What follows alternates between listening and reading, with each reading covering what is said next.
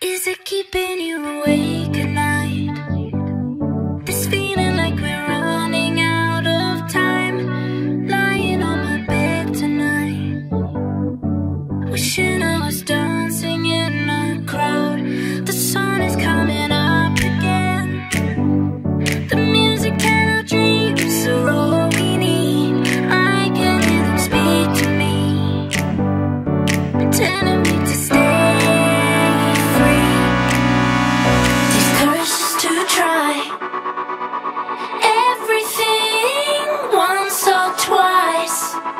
nothing on my